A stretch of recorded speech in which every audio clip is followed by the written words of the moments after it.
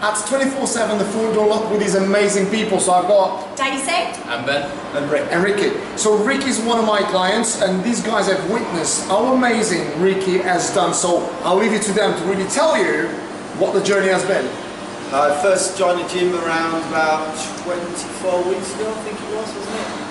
And uh, second week in, um, saw the post of the Carlos, really looking at him, and uh, I decided, right, I'm going to go for a personal trainer. I observed him training uh, one of his other clients, and I was quite impressed. So, you know, I thought, time to get fit, need a bit of motivation. So, I spoke to Carlos, sat down, and uh, we went for a plan. Yep.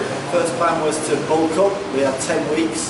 I think we bulked up and... uh, Seems a long time ago now. It does, yeah.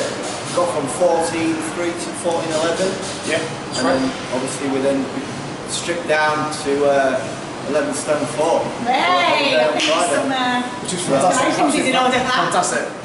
Ben, you've seen, you've seen a bit of a transformation here as well, haven't you? Oh, definitely, yeah, yeah. Come in. Um, he did have like his little baby cheeks, but now he looks, he looks Yeah. fantastic. He looks healthy. His, his skin's well, and smile on his face always. So proud of himself. Well done. Daisy? massive, um, again, well done to you. Um, it's, it's hard thing, you know, but you've got to have, you know, that effort, I think, sometimes, and that motivation yourself. Obviously, teaming up with Carlos and with, with that passion of yours as well. Um, I think it's, yeah, it's took you a long way, and you should be really proud of yourself. Absolutely and I'm sure he's fantastic. going to have a lovely holiday. You're going to Yeah. feel good in your skin. Hopefully.